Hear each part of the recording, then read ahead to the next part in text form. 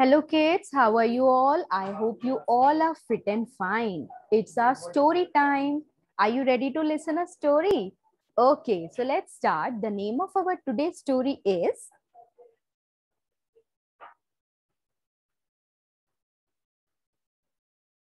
The Monkey and the Turtle.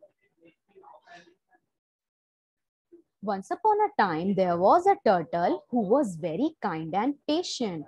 He had many friends. Among them was a monkey who was very selfish. He always wanted to have the best part of everything. One day, a monkey and a turtle found a banana tree on a river. They fished it out and because each wanted the tree for himself, they cut it into half. The monkey, being the stronger one, took the part with leaves despite the turtle's protest. The turtle carefully planted it in his backyard. The monkey did the same for his part. But because the part of the monkey got had no roots, it died, while the turtles lived and sprouted leaves. One day, the monkey visited the turtle and they talk about their banana plants. Alas, my banana tree is dead, wailed the monkey tearfully. And yours? Alive and bearing fruit, but because I can't climb up, don't worry, interrupted the monkey. I will climb for climb up for you. The turtle became very happy and accompanied the monkey to the place the monkey climbed the tree at once and started eating, filling both cheeks. Give me some too, begged the turtle. Not even the peels, answered the monkey.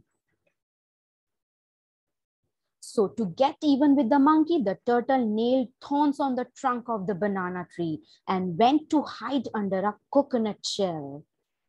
Oh, oh, said the monkey as he came down from the tree and with much pain went to sit on the coconut shell to tend his wants. But while he was pulling out the thorns and snail, his restless tail went inside a hole in the coconut shell. The turtle, who saw a good opportunity, bit it. The monkey jumped and saw stars from the pain. So it's you, exclaimed the monkey coarsely as he lifted the coconut shell. Now I will make you pay for everything you did. You shall die. But how? Do you want me to crush you in this mortar or throw into the river? Crush me into the mortar, but please don't throw me in the river. I don't want to die. Ah, so you're afraid of drowning and into the river he threw the turtle who swam away happily.